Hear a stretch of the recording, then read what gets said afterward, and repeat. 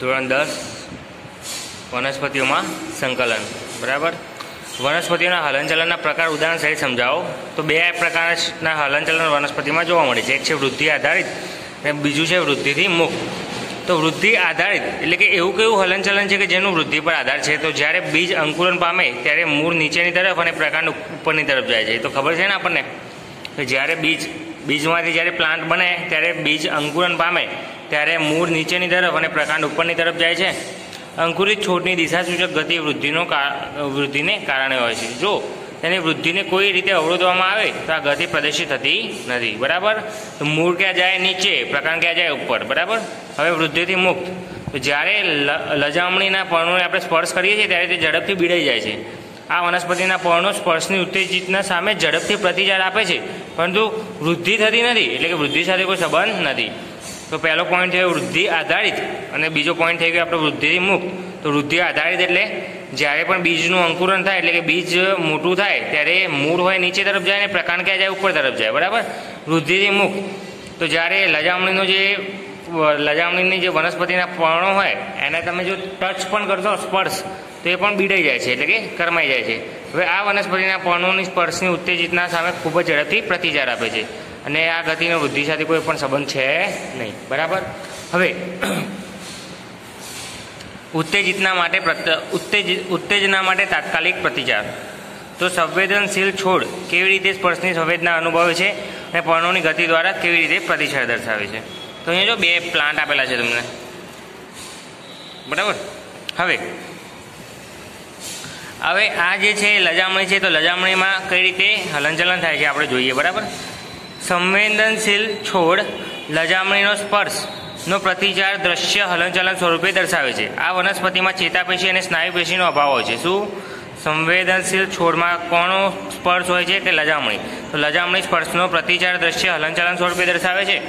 આ વનસ્પતિમાં ચેતાપેશી અને સ્નાયુપેશીનો અભાવ હોય છે. શું હોય છે? ચેતાપેશી અને સ્નાયુપેશીનો શું હોય છે? અભાવ હોય છે. સંવેદનશીલ વનસ્પતિ લજામણીના પર્ણોને સ્પર્શ કરવામાં આવે તો તે ઝડપથી બીડાઈ જાય છે. શું? સંવેદનશીલ લજામણીના જે પર્ણો હોય, એને જો સ્પર્શ કરીએ તો પણ એ ઝડપથી શું થાય છે? બીડાઈ જાય છે. તેમાં વિશિષ્ટ પ્રોટીન અને સ્નાયુ કોષો ન હોવા છતાં વનસ્પતિ કોષો તેમના પાણીના પ્રમાણમાં ફેરફાર કરી ફૂલે અથવા તો સંકોચાય છે. પરિણામે પર્ણો જો ફૂલે તો વિસ્તૃત થાય અને જો સંકોચાય તો બીડાઈ જાય છે. આ રીતે સંવેદનશીલ જે વનસ્પતિ જે છે, એ સ્પર્શની સંવેદના અનુભવે છે અને પ્રતિચાર રૂપે પણોનું હલનચલન થાય છે. ફરીથી, લજામણીનો છોડ હોય, લજામણીના છોડને આપણે સ્પર્શ કરીએ, તો એ હલનચલન દર્શાવે છે. એમાં સ્નેહ, સ્નાયુ પેશી અને ચેતાપેશી તો હોતી જ નથી, તો શું થાય? તો આમાં જ્યારે પણ આપણે સ્પર્શ કરીએ ને, ત્યારે એમાં સ્નાયુ પેશી ચેતાપેશી ના હોય શું થાય? એમાં પાણીનું વહન બનવું પાણી એક જગ્યાએ બીજી જગ્યાએ જાય નહીં. જેવું તમે ટચ કરો એવા પ્રોટીન અને સ્નાયુ કોષો ન હોવા છતાં તેમાં પાણીના પ્રમાણમાં ફેરફાર કરી, એટલે કે પાણીના પ્રમાણમાં કદાચ ફૂલી પણ જાય અને કદાચ સંકોચાય પણ છે. બરાબર. તો જો કદાચ ફૂલશે, તો વિસ્તૃત થશે. તો જો પહેલી ફિગરમાં વિસ્તૃત થયેલ બતાવેલા છે. અને બીજામાં જો શું બતાવ્યું છે? કે સંકોચાય. સંકોચાય તો બીડાઈ જાય છે. તો જો નીચેની આકૃતિ. બરાબર. તો આમાં લજામણી ફૂલેલી બતાવેલી છે. અને આમાં લજામણી કઈ બતાવેલી છે? સંકોચાય. તો ફૂલે ક્યારે? કે જ્યારે પાણી લે અને ફૂલે. અને જો ફૂલે જો એ ફૂલે, તો વિસ્તૃત થાય. અને જો પાણી ઓછું મળે, તો સંકોચે જાય. અને સંકોચાઈ જાય તો એ બીડાઈ જાય છે. બરાબર? આ રીતે લજામણીમાં સંવેદનશીલ છોડ જે લજામણી છે, એમાં હલનચલન આપણને બતાવ્યું છે. બરાબર? હવે, વનસ્પતિનું જે સંકલન જે છે, એ પ્રાણીઓના સંકલનથી કઈ રીતે અલગ પડે છે? શું? વનસ્પતિઓનું જે સંકલન છે, એ પ્રાણીઓના સંકલનથી કઈ રીતે અલગ પડે છે? તો વનસ્પતિમાં સંકલન પ્રાણીઓના સંકલનથી નીચે રીતે અલગ પડે છે. પહેલું પોઈન્ટ પ્રાણીઓની માફક. વનસ્પતિમાં વિવિધ ક્રિયાઓના નિયમન અને સંકલન માટે ચેતાતંત્ર હોતો નથી. પહેલો પોઈન્ટ શું? કે આપણું જે નિયમન અને સંકલન જે હોય એ આપણા ચેતાતંત્રથી થાય. પરંતુ આપણી જેમ વનસ્પતિમાં સંકલન, નિયમન માટે ચેતાતંત્ર હોતું નથી. પહેલો પોઈન્ટ બીજું, પ્રાણીઓની માફક. વનસ્પતિમાં કોઈ વિશિષ્ટ પ્રોટીન નથી. શું? પ્રાણીઓમાં જેમ પ્રોટીન હોય, એમ વનસ્પતિમાં કોઈ વિશિષ્ટ પ્રકારનો પ્રોટીન હોતો નથી. આમ છતાં, વનસ્પતિ કોષો તેમના પાણીના પ્રમાણમાં ફેરફાર કરી પોતાનો આકાર બદલી દે છે.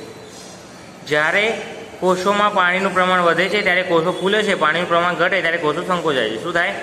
કોષોમાં, શું કીધું આમાં જો?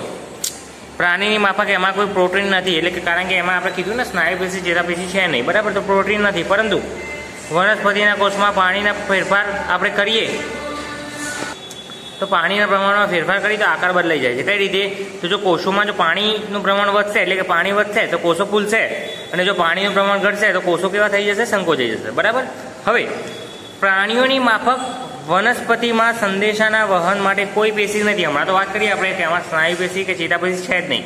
પેલામાં આપણે કાલે જોયું હતું, તો એમાં શું થતું હતું કે કરોડરજ્જુ મગજ, એમાં જે આપણી પેશીઓ હતી જેને આપણે ન્યુરોન પણ કહી શકીએ, તો એ માહિતીનું વહન કરતું હતું, એના પરથી મગજ એ એને સંદેશો આપે અને આપણે હાથ લઈ લેતા હતા, બરાબર? તો આ જ વસ્તુ કે આમ છતાં વનસ્પતિ કોષોમાં વીજ, આવેગ અને રસાયણનો ઉપયોગ કરીને સંદેશાનો એક કોષથી બીજા કોષ સુધી પ્રચાર કરે છે. ફરીથી, પ્રાણીઓની માફક વનસ્પતિમાં સંદેશાના વહન માટે કોઈ પણ પેશી છે નહીં.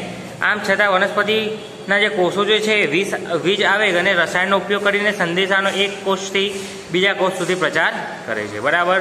તો પહેલા પોઈન્ટમાં કીધું કે ચેતાતંત્ર નથી હોતું. બીજામાં એવું કીધું કે આમાં પ્રોટીન જેવું કંઈ હોતું નથી. અને ત્રીજામાં એવું કીધું કે આમાં વીજ આવેગ અને રસાયણમાં એક કોષથી બીજા કોષ માટે કોઈ પેશી હોતી નથી. બરાબર? તો આ ત્રણ અલગ અલગ વસ્તુઓથી આપણે એવું કહી શકીએ છીએ કે જે વનસ્પતિઓનું જે સંકલન જે છે, એ પ્રાણીઓના સંકલનથી કેવું છે? અલગ પડે છે. ઓકે?